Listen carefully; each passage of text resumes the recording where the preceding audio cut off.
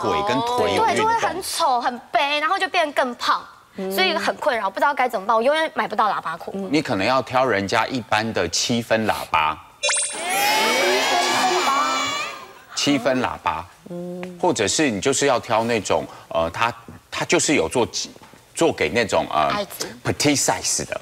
petite，你知道 petite 就袖珍版，袖珍有袖珍，在美国他们美国他们有出就是 petite 给就是特别瘦小的女生的。哦，所以你可能要去找一些美国美国线的牛仔裤，OK，对，然后。我看起来好像没什么问题，但是其实我超没有，我超难买牛仔裤的，因为我是扁身，然后但是我的这边的骨头其实是宽的，所以你看我腰这么细，啊他没有屁股哎，对啊，那腰超细耶，很孝轩还细耶，所以那个比例就会变得很奇怪，就是你看起来这样屁股好大哦。对，所以我其实不敢穿牛仔裤，然后所以我只能买这种。对我没有看过他穿这种合的牛对仔裤我就只能只敢停，就是像用比较平凡的牛仔裤修饰这样。可是那你修的很好哎。可是他他他背面看真的对啊，不输亚美奖哎，对啊，我突然觉得就是有人陪。所以我上半身也都不穿合身，而且我多半是盖住屁股的衣服，就是因为这样子。你会穿，哎，真的，他平常很会穿衣服哎，遮住。那你教一下红糖嘛，他穿这样子。不是新梅姐，因为我刚好跟你相反，我是原生，嗯，所以我是一个屁股有肉，屁股五百，然后胸五百郎，所以我是他就屁股翘，胸有大。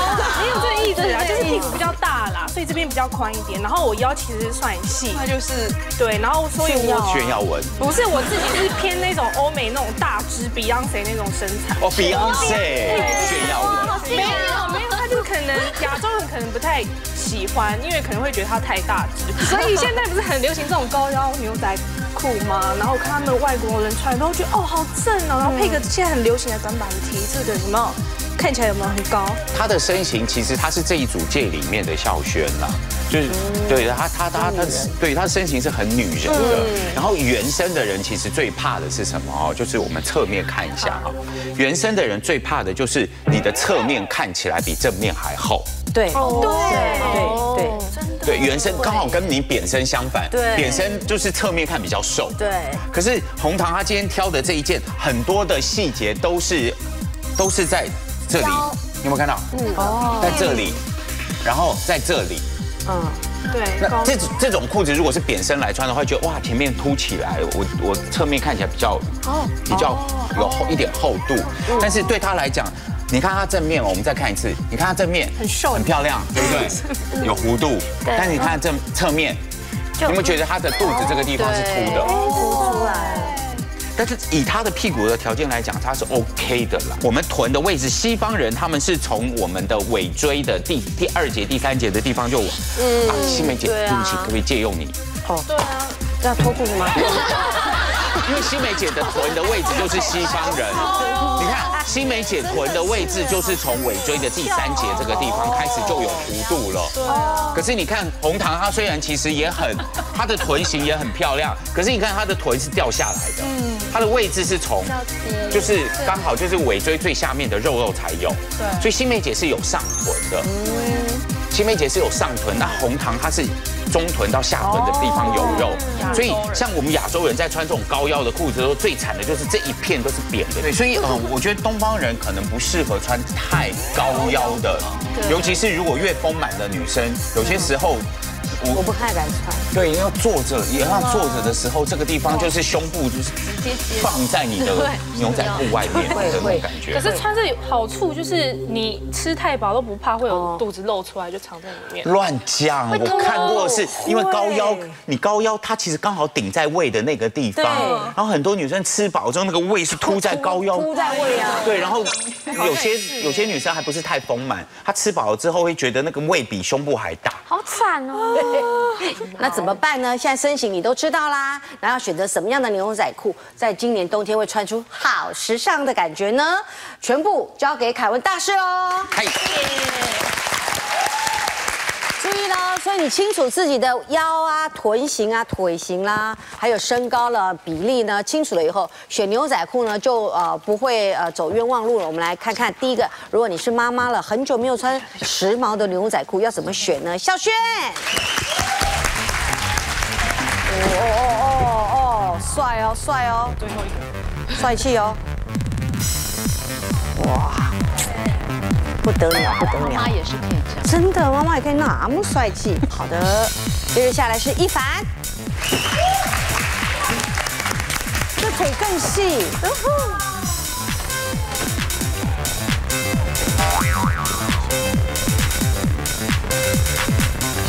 为什么看起来每个人腿都变细了？奇怪。再来是杨美嘉，哇，你可以穿浅色的。对啊，好难得哦。赶时间啊！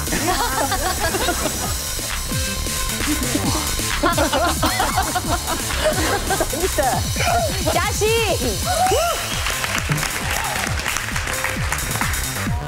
帅气，这条牛仔裤好好看哦。对耶，果是你是属于呃那一种嗯个子比较小的，是就是怕就是说因为个子比较小，买喇叭裤喇都不见了，对不对？一改就不不喇叭了，怎么办呢？你看看小扣，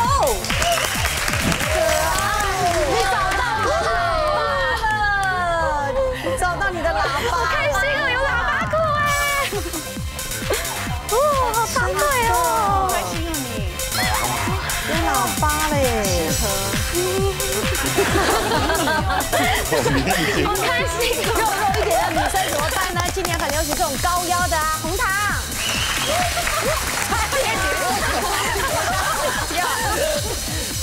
哇哇！对耶，怎么这大家看起来都瘦了？奇怪，到底老师用了哪一些配方，施施展了什么魔力啊？请到老师那边。先看呃嘉欣好了，我们喜欢我们一直喜欢对不对？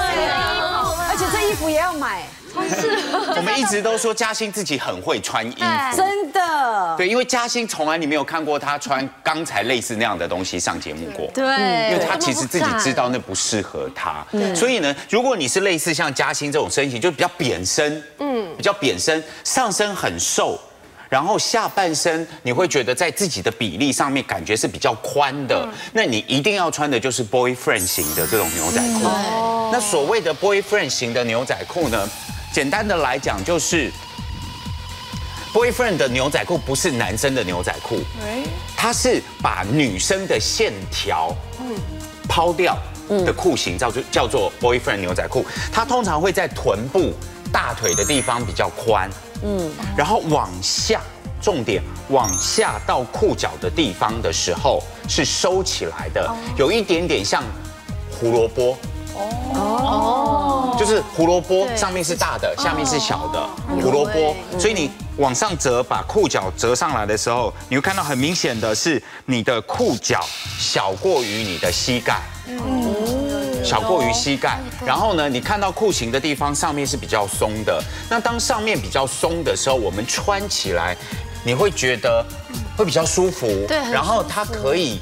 掩饰掉你原本的身形，你就会觉得它其实是很瘦的，屁股没没什么问题。因为刚才她那一件，很多女生会刻意觉得要穿紧一点，看起来可能会窄一点，但是因为太紧，反而把你的屁股也压扁了。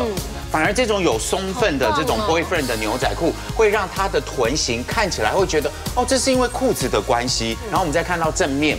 正面的这个部分呢，它其实今年很流行这种破坏的牛仔裤，它透过了呃这种很多次的，譬如说先把它做出洞，然后再补丁，然后再去用呃手工去把它褪色，有一点铁锈的感觉，对，有点铁锈的感觉，会比较嗯比较适合就是外形看起来很柔弱，其实个性很倔的他。对，上衣的部分，记得当你穿了 boyfriend 的牛仔裤之后，上身不要刻意穿的太女人，嗯，因为那样子反而会让你的屁股变大。哦。所以宽宽松松的，透过这种 V 型的领口或者是比较窄的肩膀的设计，它会让人家觉得你是瘦的，你只是喜欢不拘不受拘束的这种裤型。然后穿 boyfriend 牛仔裤的时候，也要注意一个原则，就是裤脚要稍微卷起来。哦。对，裤脚要稍微卷起来，因为它都会是做这种呃红萝卜胡萝卜型的裤脚，所以下方呢，很多时候这个地方你可能会觉得，尤其尤其是比较肉一点的女生，你可能会觉得好像你的小腿快把它占满了，但是折一点点起来，露出一点脚脖子，会觉得帅气之外，比例看起来会比较好看。对，嘉欣平常真的太会穿衣服了，把扁身宽屁屁藏得好好哦。不过不用再烦恼不能穿牛仔裤的问题了，我刻意强调女性曲线的 boyfriend 裤就是最适合你的裤型哦。小扣哦，其实这一件它就是专门针对就是小尺寸的女生设计的，而且它这一件喇叭裤是一个大众品牌的，嗯，是一个平价品牌，因为他们都会出到。很小很小的 size，因为他们要卖的地区很广，那每一个地区的人的那种呃身形不同，所以呢他们会专门针对亚洲地区的女生引进这种很小的版型，她穿都很紧的。对我好紧，我刚才差点拉不上来。可是因为它这种牛仔裤是比较生的牛仔裤，也就是它的料子比较厚。我会建议大家，就是如果你的版型是对的，其实刚开始你要买牛仔裤的时候，要买扣紧一点的。哦，因为越穿越浪，是不是？对，因为牛仔布本身是棉，嗯嗯，是棉，尤其是像它这不是弹性不大的牛牛仔裤，弹性不大的牛仔裤，随着这种自然的身体的那个穿过之后，它其实是会松。嗯，对，所以你刚开始买的时候，不要说要买的很那啷啷。一买就到时候一穿之后两三次就会松掉了。然后喇叭裤跟靴型裤不同的地方，就是在膝盖跟脚的这个位置的比例。牛呃喇叭裤一定很重要的是膝盖要贴，OK，越贴才能够我们看一下侧面，对。这个地方越贴才能够越展现它下方裤脚的摆度。嗯，OK。所以如果说你的比例膝盖这边是松的，像孝轩穿的就是靴型的，膝盖这边比较松一点。哦，对耶。哦，对，膝盖这边比较松一点。然后呢，摆度可能下方差不多。嗯，我们随着膝盖这里跟脚这个裤脚的这个比例，就可以判定你穿的是喇叭或者是靴型。嗯，那通常我会说。要穿喇叭裤的人，身材一定要很正，他大腿跟膝盖的地方是收很紧的，所以如果你的臀型不漂亮，会变你的屁股变很大。对对。所以在穿喇叭裤的时候，你的臀型，我的建议是比较窄型的人。但如果说你的个子跟呃，譬如说像像小抠这样的话，有些时候呃，你不一定要硬穿喇叭裤了。因为穿喇叭裤，如果你不会穿高跟鞋，哦，不不好看，对，是不好看的。所以小抠今天他之所以能够成功的驾驭这些，是因为你看他高跟鞋有多高，哇，好高哦。对，但是也因为这样子，它可以藏在你的裤脚当中。应该穿高一点。就是喇叭裤，喇叭裤的大，就是它刚好就是我们所谓的喇叭裤，就是它的摆度能够把你的鞋子完全藏住。如果说你会露出一点点这个，它就是靴型。哦，就像肖轩。对对对，肖轩他就有露出一点点前脚。嗯嗯。对，这个就是靴型。娇小女孩有福了，不用再怕买不到喇叭裤了呢。但是想穿喇叭裤，记得要先锻炼好身材，还要练习穿高跟鞋，才能当一个有型的喇叭裤女孩哦。是今年的复古年代，所以这种雪花牛仔裤还是有。但今年的雪花比较不是蓝白雪花，黑灰雪花，我觉得是可以投资的。黑灰的雪花，或者是白白色为底，然后浅蓝的雪花。